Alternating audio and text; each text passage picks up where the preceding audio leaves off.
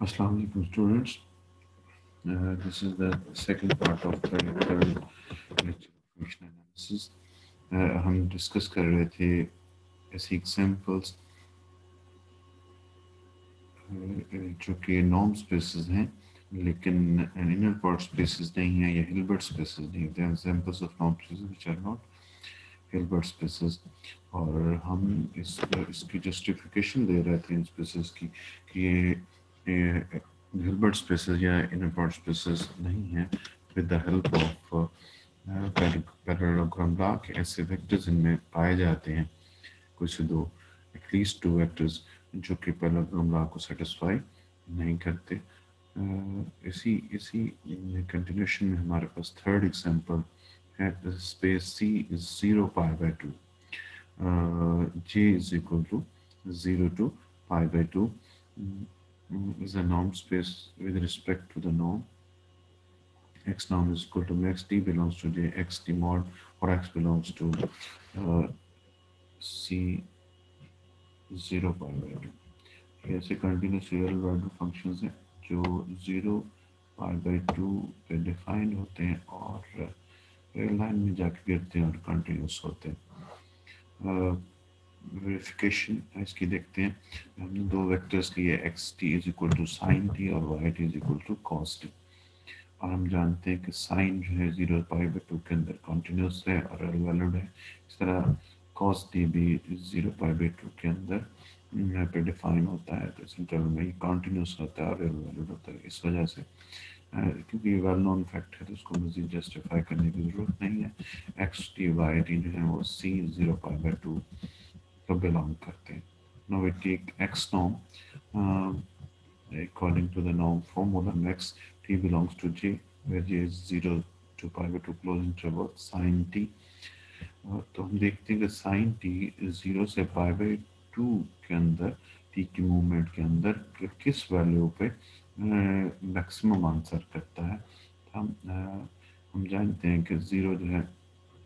Sign जो है, वो पाई बाई टू पे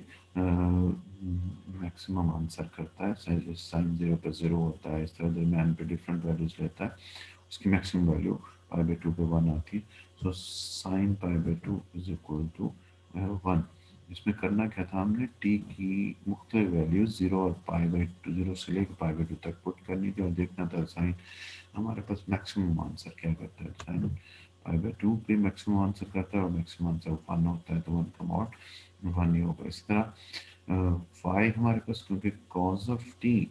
वेक्टर है तो y Nom is equal to max t belongs to J cause t mod is equal to max t belongs to zero pi by two cause of t mod and हम जानते हैं कि cause of zero और pi by two के दरमियान इसकी values check करते हैं तो इसकी ज़ीरो पे वैल्यू वन आती है इस तरह से हमारे पास और बाकी जो ज़ीरो से लेकर पाई बाई टू तक टी की वेरिएशन है, इस पे कॉज की वैल्यू वन से कम आती है। सो एक्स का नॉम वन वाई का नॉम one x plus Y means sign T plus cos T x plus Y नॉम is equal to max T belongs to cos T plus sign T now हम, हमने देखना है कि एट अ टाइम टी की कौन सी वैल्यू पुट करें और पुट करने के बाद कॉज कि उस पर आंसर प्लस साइन का आंसर को जब हम ऐड करके देखें तो आंसर सबसे बड़ा है। तो इसमें इसमें थोड़ी सी कॉम्प्लिकेशन है। जैसे हम साइकिल देखते हैं तो काइस कॉज जो है ज़ीरो पे वन होता है, लेकिन ज़ीरो पे साइन जो होता है वो ज़ीरो होता है। तो प्लस करके आंसर वन आता है। इस तरह पाई बाई टू पे हमारे पास ये वन होता है और कॉज ज़ीरो होता है तो भी आंसर वन आता है। लेकिन इस पे आप सारे टेबल पे फोकस करें तो इसकी वैल्यू यानी कि वन से ऊपर नहीं जा रही ऐड करने से। लेकिन एक ऐसा दरमियान में ज़ीरो पाई टू के दरमियान एक नंबर है। पाई बाई फोर जिसपे कॉस्ट और साइनटीन दोनों आंसर सेम देते हैं। One over two square root plus one over two square root लेकिन इन दोनों को ऐड करें तो आंसर हमारे पास है two over two square root और हम अगर इसको सिंप्लीफाई करें ऊपर नीचे टू स्क्वायर रूट से,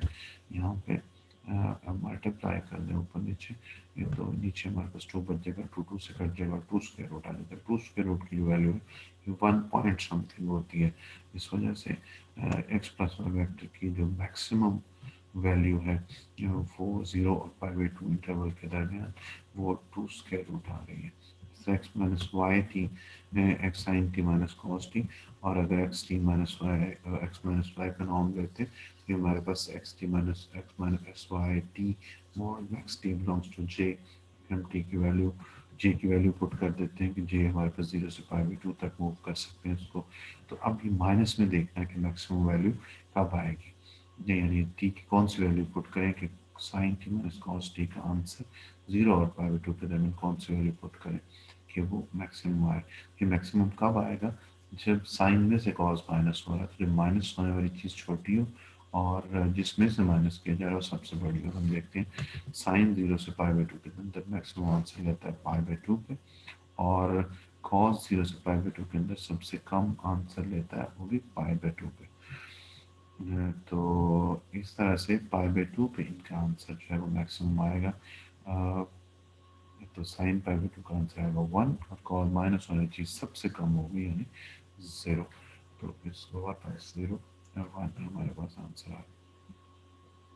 मैं रिपीट करता हूँ हमने टी की ऐसी वैल्यू देखनी जिसको एट अ टाइम इन दोनों में पुट करें और माइनस करने से आंसर मैक्सिमम आए तो यानी ऐसी वैल्यू जिस पे साइन बढ़ा सबसे आंसर दे और उसी वैल्यू पे कॉज सबसे छोटा आंसर करे। तो इस ये हमारे पास वाई बाई टू थी और इस पर आंसर आना इस तरह हमारे पास एक्स का नाम हमारे पास हमने निकाल लिया। और जो कि वन था वाई का नाम वन था एक्स प्लस वाई का नाम हमारे पास टू स्क्र रूट है और इसमें वाई का नाम भी वन है। हम पैरोग्राम लाल पैरोग्राम इक्वलिटी की लेफ़्ट हैंड साइड में अगर इनको पुट करते हैं तो एक्स प्लस वाई नॉम square plus x minus Y नॉम square two plus one two square root था कि जैसे एक्स प्लस वाई एक का नॉर्म तो उसका जैसे स्क्वायर लेंगे तो टू बच जाएगा इस तरह वन का स्क्वायर वन ही होता है तो ये थ्री आ गया इस तरह इसकी राइट हैंड साइड है फोर के इक्वल आ जाती है because three is not equal to four so x plus Y Nom square plus x minus Y Nom square is not equal to two times x Nom square plus two times Y Nom square so parallelogram law is not satisfied. Uh, that implies space C 0 pi by 2 is not an inner product space. And it's not a Hilbert space. Next इसकी ग्रामा है जिसकी heading है continuity in inner product space तो ये continuity से related और inner product continuity relation में एक हमारे पास एक एक एक रिज़ल्ट है ये if in an inner product space x x x n x का सीक्वेंस है, जो एक्स के एलिमेंट एक्स को कन्वर्ज कर रहा है and y n converges to y and x and y n inner product converges to x y in the product यानी अगर एक सीक्वेंस एक एलिमेंट को कन्वर्ज कर रहा है और दूसरा सीक्वेंस दूसरे एलिमेंट को कन्वर्ज कर रहा है तो दोनों सीक्वेंस के कंपोनेंट वाइज इनर प्रोडक्ट से जो सीक्वेंस बनेगा वो उनके कन्वर्जिंग पॉइंट से बनने वाले इनर प्रोडक्ट को कन्वर्ज करेगा. This is the result इसके प्रूफ जैसे क्वेश्चन देंगे given x n tends to x and y n tends to y this means limit n tends to infinity x n is equal to x and limit and tends to infinity yn is equal to y. Now consider xn y inner product minus xy inner product small. Uh, we can write this in this way uh, because uh, इसमें हम x n y inner product minus भी कर देते हैं और plus भी कर देते हैं इसमें हम क्या करते हैं? X n y product minus भी कर देते हैं प्लस भी माइनस कर दिया और ये प्लस कर दिया। नाउ ये जैसे कि हमारे पास ये एक फ़ील्ड का एलिमेंट है और ये भी एक फ़ील्ड का एलिमेंट है। से दीज आर कॉम्प्लेक्स नंबर्स तो से this is the one complex number and this is the second plus z plus z1 plus z2 mod is less or equal to z1 mod plus z2 mod. तो हमने modulus की inequality से इनको खोल दिया। तो z1 mod और z2 mod जैसे हमने बताया था कि इंडियन प्रोडक्ट कहाँ पे मैप होता है। अगर तो कोई फ़ील्ड क्लियर ना हो तो इन जनरल हम कहते हैं कि वो सी में मैप हो रहा है। स्पेसिफिक हो तो हम बता सकते हैं कि ये रियल नंबर बन रहा है, ये कॉम्प्लेक्स नंबर बन रहा है। तो ये भी कॉम्प्लेक्स नंबर ये भी कॉम्प्लेक्स नंबर ये भी कॉम्प्लेक्स नंबर ये भी complex number complex number minus complex number the answer is a complex number says z1 complex number minus complex answer is a complex number says z2 c1 plus z2 mod is less or equal to z1 mod plus z2 mod so this is equal to this can be written as xn uh, in the product with yn minus y और देखिए इसको अगर दोबारा हम इन product के action की मदद से खोलने दें बन जाएगा x n y in product minus